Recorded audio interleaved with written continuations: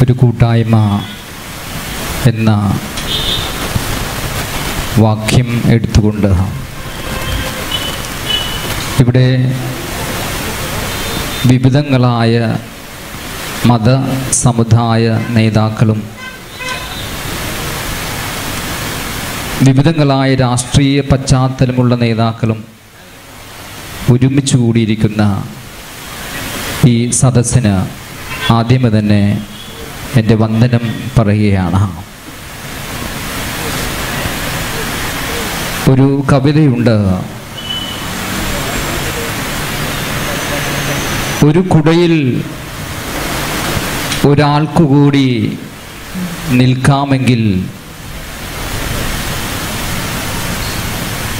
മഴ ഒരു സംഗീതമാകും. ഒരു തണലിൽ ഒരാൾക്കുകൂടി കൂടി ഇടം കൊടുത്താൽ വെയിൽ നിലാവട്ടമാകും. മനസ്സിലെ ഇത്തിരി ഇടം മണ്ണിലെ ഒത്തിരി ഇടമാകും. മനസ്സ് ആകാശക്കുടയാകും. നക്ഷത്രങ്ങൾ അതിന്റെ മീതെ പ്രകാശം ചൊരിയും. വേദിയിലെ ഏറ്റവും ആദരണീയരായ മഹത് വ്യക്തികളെ ഇവിടെ ഈ ഹൈബയുടെ ഓരത്ത് ഈ പന്തലിന്റെ മേൽക്കുരയ്ക്ക് കീഴെ നമ്മൾ ഇന്ന് ഈ ഇരുപത്തിയാറാം തീയതി സായാഹ്നം ചിലവഴിക്കുന്നുണ്ടെങ്കിൽ ഈ പന്തലിന്റെ മേൽക്കുരയല്ല ഞാൻ കാണുന്നത് ഇവിടെ. മറിച്ച് ഈ പന്തലിന്റെ മേൽക്കുര വരുന്നതിന് മുമ്പ് അരൂർ മഹൽ മുസ്ലിം ജമാഅത്തിന്റെ സംഘാടകരുടെ മനസ്സിൽ ഇതുപോലെ നമുക്കെല്ലാവർക്കും കൂടി ഇരിക്കുവാനുള്ള ഒരു മേൽക്കുര തീർക്കണമെന്ന് തീർത്തിരുന്നു. അവരുടെ മനസ്സിലാണ് നമ്മളെയൊക്കെ ഒരുമിച്ചിരുത്തുവാനുള്ള ആദ്യത്തെ മേൽക്കുര. ഉയർന്നത്. എനിക്ക് വലിയ സന്തോഷമാണ് കാരണം മതസൗഹാർദ്ദ എന്ന് പറയുമ്പോൾ ഇതുപോലെ നമ്മുടെയൊക്കെ മനസ്സിൽ എല്ലാ ജാതിയിൽപ്പെട്ടവരെയും എല്ലാ രാഷ്ട്രീയത്തിൽപ്പെട്ടവരെയും പാവപ്പെട്ടവരെയും പണക്കാരനെയും ഒരു മേൽക്കുരയ്ക്ക് കീഴിൽ ഒരുമിച്ചിരുത്തുവാനുള്ള ഇത്തരത്തിലുള്ള ഈ സംഘം ചേരലിന്റെ പേരാണ് മതസൗഹാർദ്ദം. ഒരു കുടയിൽ ഒരാൾക്കു കൂടി സ്ഥലം കൊടുക്കുമെങ്കിൽ മഴ സംഗീതമാകും എന്ന് പറയുന്നത് പോലെ ഈ പന്തലിൽ എനിക്ക് ഇത്തിരി ഇടം തന്നപ്പോൾ എന്റെ ഹൃദയത്തിലെ വലിയ സന്തോഷം ഇവിടെ കൂടിയിരിക്കുന്ന എല്ലാവരിലേക്കും ഇങ്ങനെ പെയ്തിറങ്ങുകയാണ് ഒത്തിരി സ്നേഹത്തോടെ ഈ പന്തലിൽ വന്ന് രണ്ട് വാക്ക് പറയുവാൻ എന്നെ ക്ഷണിച്ച് മഹൽ മുസ്ലിം ജമാഅത്ത് സംഘടനകൾക്ക് അംഗങ്ങൾക്ക് ഞാൻ എന്റെ വിനീതമായ നന്ദി അർപ്പിക്കുകയാണ്. ഒരു മനുഷ്യൻ പട്ടിണി കിടക്കുമ്പോൾ ഭക്ഷണം കഴിക്കുന്ന ഒരു മുസൽമാൻ മുസൽമാനല്ല എന്ന് പഠിപ്പിച്ചത് നബി തിരുമേനിയാണ്.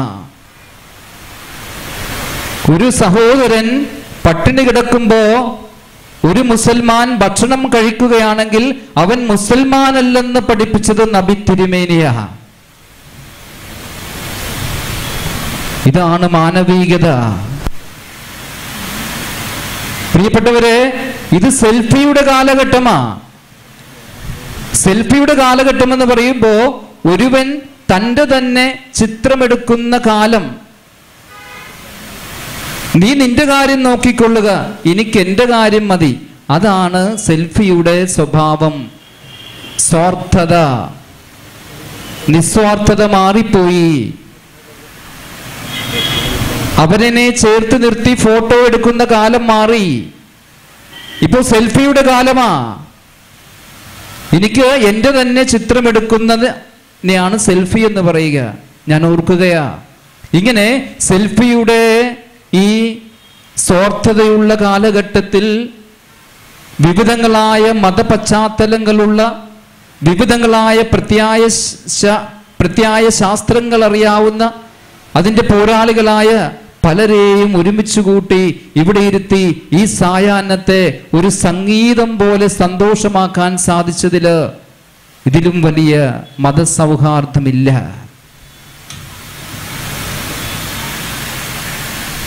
ഗുരുജി നമ്മളെ പഠിപ്പിച്ചത് ഒരു പീഡ എറുമ്പിനും വരുത്തരുതെന്ന ദീനാനുകമ്പയും സദാ കരുണാമയ നൽകൂ എന്നുള്ളിൽ നിൻ തിരുമൈ വിട്ടകലാത്ത ചിന്തയും. എന്ത് രസമുള്ള കവിതയാ. ദീനാനുകമ്പ അനുകമ്പാ ശതകത്തിലെ കവിതയാ. ഒരു ഉറുമ്പിനും ഒരു പീഡ ഉറുമ്പിനും വരുത്താത്ത അനുകമ്പയും സദാ. കരുണാമയനായ ദൈവമേ നൽകൂ എന്നുള്ളിൽ നിൻ തിരുമൈ വിട്ടകലാത്ത ചിന്തയും. ഇതിന്റെ പേരാണ് മാനവികത.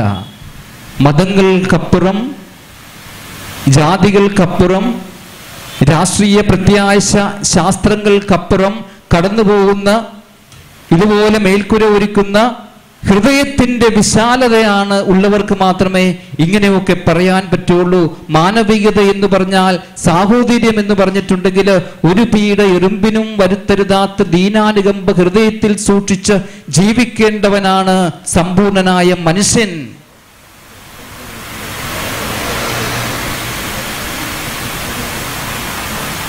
പ്രിയപ്പെട്ടവരെ ഞാൻ ഈ സെന്റ് മേരീസ് ദേവാലയത്തിൽ ചന്തിരൂരിൽ വന്നിട്ട് ഒരു വർഷം കഴിഞ്ഞു. ഞാൻ എന്റെ കുട്ടികളോട് എൽ കെ ജി മുതൽ പതിമൂന്നാം ക്ലാസ്സിൽ പഠിക്കുന്ന കുട്ടികളോട് ഞാൻ പ്രസംഗിച്ചത് ഇങ്ങനെയാ. പ്രിയപ്പെട്ടവരെ മുസ്ലിം സഹോദരങ്ങൾ നമ്മുടെ പള്ളിയുടെ മുറ്റത്തുകൂടെ നിങ്ങൾ പോകുന്നത് കണ്ടിട്ടുണ്ടോ? നിങ്ങൾ ശ്രദ്ധിച്ചിട്ടുണ്ടോ അവർ പോകുന്നത്?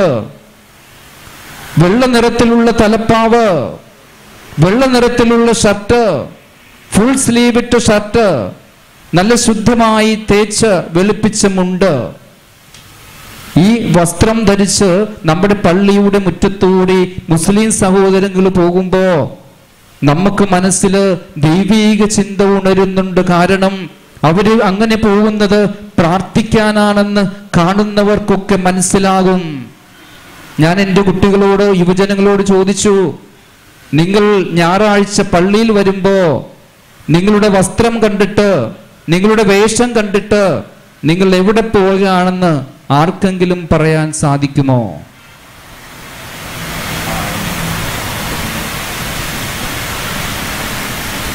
ജീൻസ് പെയിൻസ് ലെഗീൻസ് ഒക്കെ ധരിച്ച് പ്രാർത്ഥിക്കാൻ വരുമ്പോൾ ഈ ഒരു ബുദ്ധിമുട്ടുണ്ട് വസ്ത്രധാരണത്തിന്റെ ബുദ്ധിമുട്ട്.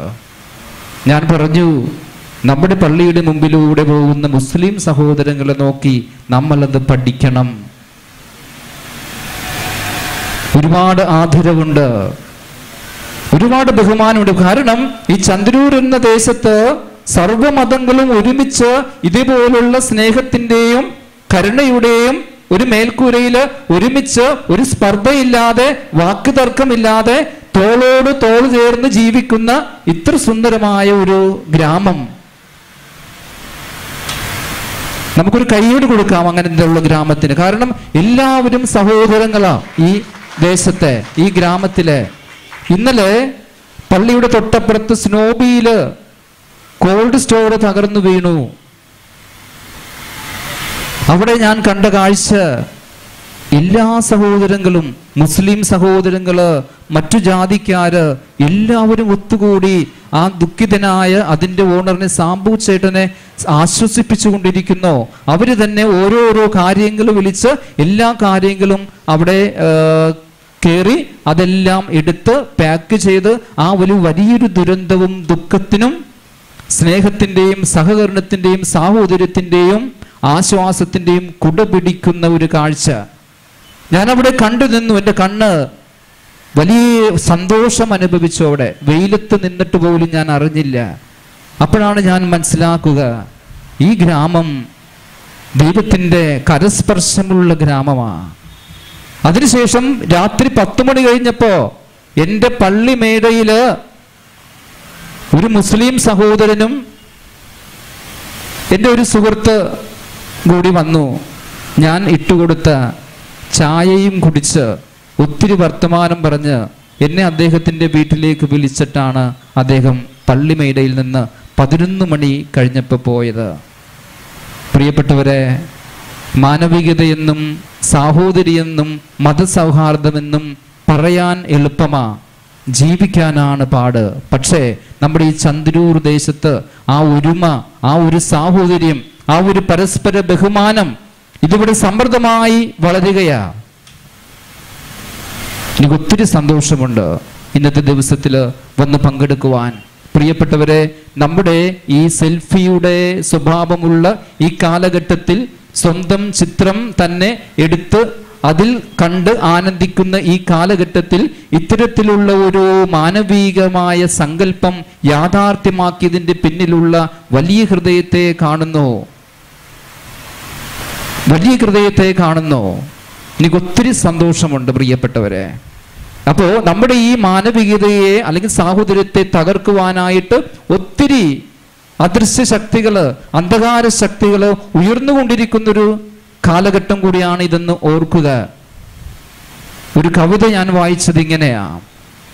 നീ കത്തിജ്വലിച്ചില്ലെങ്കിൽ ഞാൻ കത്തിജ്വലിച്ചില്ലെങ്കിൽ ഈ അന്ധകാരത്തെ പിന്തുടർന്ന് തോൽപ്പിക്കുന്നത് ആരാണ്?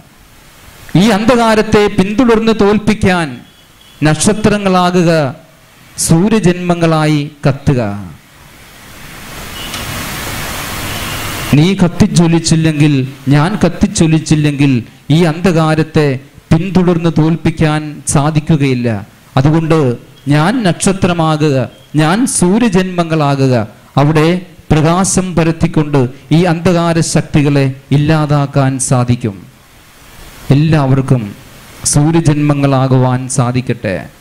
അവരവരുടെ ചുറ്റുവട്ടത്ത് കൊച്ച് മിന്നാമിനിങ്ങിന്റെ വെളിച്ചമെങ്കിലും ഈ സാഹോദര്യത്തിന്റെ കുടിമുടിയിൽ ഈ സ്നേഹത്തിന്റെ ഈ ഗ്രാമത്തിൽ ഒരു മിന്നാമിനിങ്ങിന്റെ ഇത്തിരി സാഹോദര്യവട്ടം ഇത്തിരി സ്നേഹവട്ടം കൊടുക്കാൻ സാധിക്കുമെങ്കിൽ അത് വലിയൊരു അനുഗ്രഹമായിട്ട് നമ്മുടെ നാടിന് ഉണ്ടാകും. ദൈവം നമ്മുടെ നാടിന്റെ മേൽ പെയ്തിറങ്ങുന്ന മഴയെയും പെയ്തിറങ്ങുന്ന ദുരിതത്തെയും അദൃശ്യമായ കരങ്ങൾ കൊണ്ട് സ്നേഹത്തിന്റെ കുട ചൂടി നമ്മൾ രക്ഷിക്കുക തന്നെ ചെയ്യും. ദൈവം സർവ സർവരെയും സർവമതസ്ഥരെയും അനുഗ്രഹിക്കട്ടെ എന്ന് ആശംസിച്ചുകൊണ്ട് ഒരിക്കൽ കൂടി ഇങ്ങനെ ഒരു അവസരം എനിക്ക് നൽകിയതിന് ഒത്തിരി നന്ദി അർപ്പിക്കുന്നു. അതുപോലെ ഈ കൂട്ടായ്മ ഈ സംഘടന അതുപോലെ ഇവിടുത്തെ നാനാജാതി മതസ്ഥരുടെ ജീവിത രീതി സാഹോദര്യം ഹൃദയ അടുപ്പം ഇതെല്ലാം എനിക്ക് വളരെ പ്രചോദനകരമായ രീതിയിലാണ് ഞാൻ അതിനെ സ്വീകരിക്കുക. ഞാൻ വന്നിട്ട് ഒരു വർഷമേ ആയിട്ടുള്ളൂ. വലിയ സന്തോഷമുണ്ട് എനിക്ക് നിങ്ങളോടൊത്ത് ജീവിക്കുവാനും നിങ്ങളെ കാണുവാനും നിങ്ങളിൽ നിന്ന് പഠിക്കുവാനും നിങ്ങളുടെ കൂടെ ഇരിക്കുവാനും ഒക്കെ ഒത്തിരി സന്തോഷമുണ്ട്. എന്റെ സന്തോഷം നിങ്ങൾ അറിയിച്ചുകൊണ്ട് എന്റെ വാക്കുകൾ ഉപസംഹരിക്കുന്നു. എല്ലാവർക്കും നന്ദി നമസ്കാരം.